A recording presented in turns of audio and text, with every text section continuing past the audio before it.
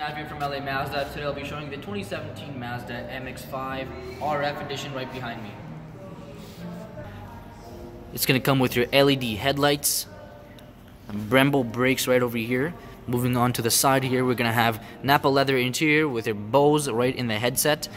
Taking a look at the steering wheel, you're going to get your audio controls on the left side, cruise control on the right hand side, AC controls, heated seats, two USB imports, um, your touchscreen display, and this is your six-speed manual. This is the HMI Commander. I'll show you how to use that more once we meet in person, and then some cup holders are just right over there.